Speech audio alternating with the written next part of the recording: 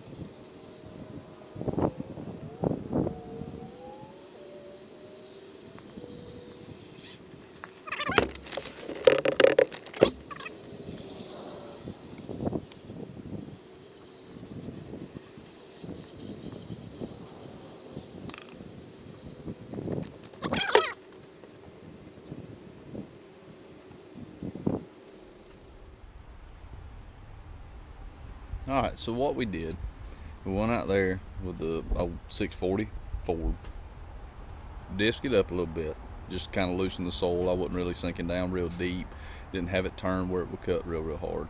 And what we were doing, uh, just kind of loosening the soil up, softening it up some, so the seed had somewhere to go.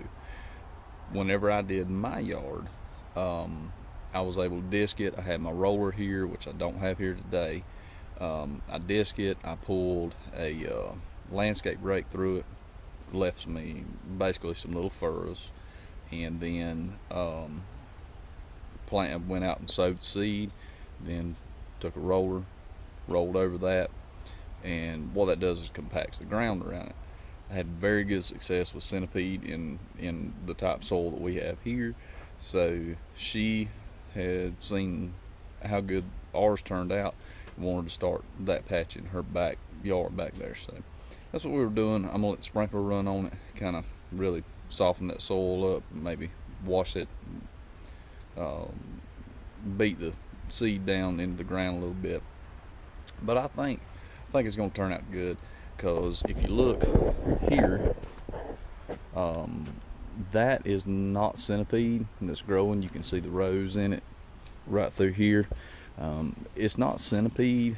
It's a uh, it's a mix uh, it, is a, a Scott seed um, but it's a it's a mix and you can tell it's this stuff is about